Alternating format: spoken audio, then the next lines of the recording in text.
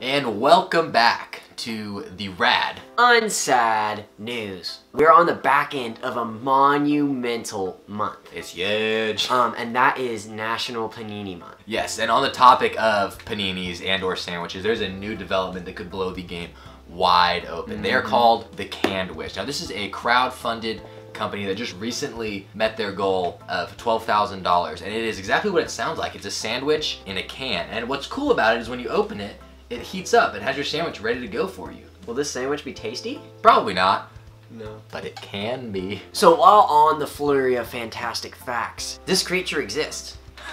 It's called the Angora rabbit, and we have a conspiracy theory. Yes, so as I'm sure everyone here knows, Jimmy Carter was actually attacked by a rabbit in his canoe in mm-hmm. 1979. It is our theory that this is the very species of rabbit that came after Jimmy. Yeah. If any of y'all are friends with Jimmy, please be reaching out to him so we can confirm or deny if this is true. Also, we thought you should know that a piece of French toast partially eaten by Justin Timberlake was sold for $1,025. According to my man JT, it was slightly burned. That's probably why I didn't finish it.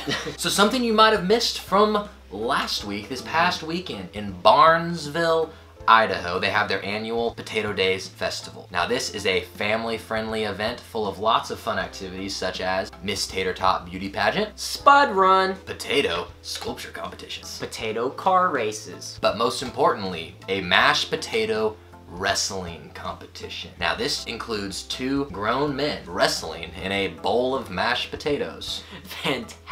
Now, while on the topic of fighting, I'm sure we all watched Floyd Mayweather defeat Conor McGregor the night of the 26th. But what we believe to be the real excitement is just around the corner. Yes, this upcoming Saturday, bring your crackers, bring your salami, because our man Ted Cheeseman is hopping into the ring in London. Yes, truly a monster in the ring. Ted Cheeseman makes it apparent that he does not lactose. It is great to know that all his toes are on his feet. Yes, and we've been watching him for a while, and Yeah. boy does he look sharp. It's bound to be a Gouda match.